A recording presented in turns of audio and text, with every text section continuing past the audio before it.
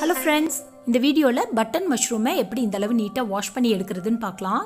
கடையில் button mushroom வாங்கும்போது பார்த்தீங்கன்னா அது மேலே கருப்பு கருப்பாக ஒட்டியிருக்கும் அது இல்லாமல் கொஞ்சம் அழுக்காக இருக்க மாதிரி இருக்கும். ஸோ இதெல்லாம் எப்படி நீட்டாக க்ளீன் பண்ணுவேன் நானுன்னு காட்டுறேன் உங்களுக்கு. அதுக்கு இந்த மாதிரி பாக்ஸை ஓப்பன் பண்ணிவிட்டு மஷ்ரூமை தண்ணியில் போட்டுடலாம். மஷ்ரூம் எப்பவுமே ரொம்ப அழுத்தி பிசைஞ்சு இப்படி கழுவக்கூடாது. ஸோ லைட்டாக அப்படியே வாஷ் பண்ணி அந்த மேலே ஒட்டி இருக்க கருப்பெல்லாம் ரிமூவ் பண்ணிடலாம். ரிமூவ் பண்ணி தண்ணியில் இல்லாமல் தனியாக எடுத்து வச்சுக்கோங்க.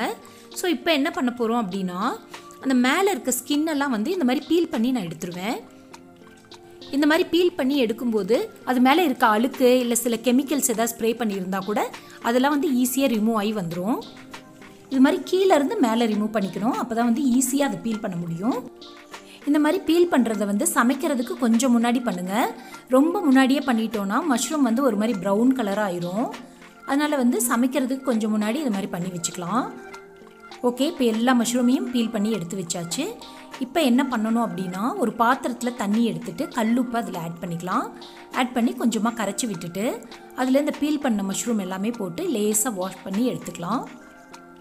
இதை எடுத்துட்டு மறுபடியும் வந்து கொஞ்சம் நல்ல தண்ணி எடுத்து அதில் இந்த மஷ்ரூமை போட்டு வாஷ் பண்ணிட்டா இப்போ வந்து எல்லாமே நல்லா நீட்டாயிரும் இதை வந்து தண்ணியில் போட்டு ரொம்ப நேரம் ஊற விட்டுறக்கூடாது. இந்த பட்டன் மஷ்ரூமில் என்ன ப்ராப்ளம்னா அதோட ஸ்டெம் பகுதியில் வந்து தண்ணி வந்து ரொம்ப உறிஞ்சிக்கும். அப்படி உறிஞ்சிட்டு ஒரு மாதிரி ப்ரௌன் ஆயிரும். அதனால வந்து வாஷ் பண்ணோன்னே எடுத்து வேறு பாத்திரத்தில் வச்சுக்கோங்க. இப்போ பாருங்கள் நீட்டாக வாஷ் பண்ணியாச்சு. இப்போ வந்து மஷ்ரூம் வந்து குக்கிங்க்கு ரெடி ஆயிடுச்சு இது மாதிரி பண்ணால் மஷ்ரூம் வந்து ப்ரௌனும் ஆகாது தண்ணியும் உறிஞ்சாமல் இருக்கும்.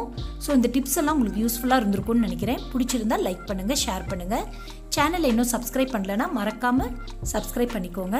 Thank you.